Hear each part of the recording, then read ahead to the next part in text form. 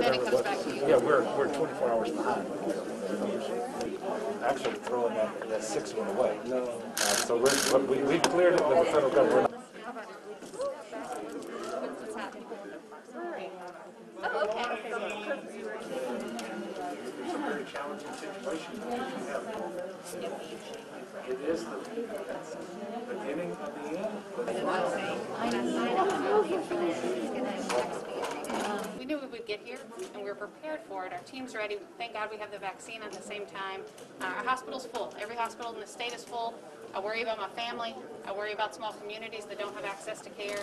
We have got to get this pandemic under control if we want to offer good care to everybody. What do you think Which is why we can't focus on the vaccine to the exclusion of doing what is necessary now. The most effective tool right now to flattening the curve, slowing the spread, reducing hospitalizations and saving lives, is this mask. It is not the vaccine.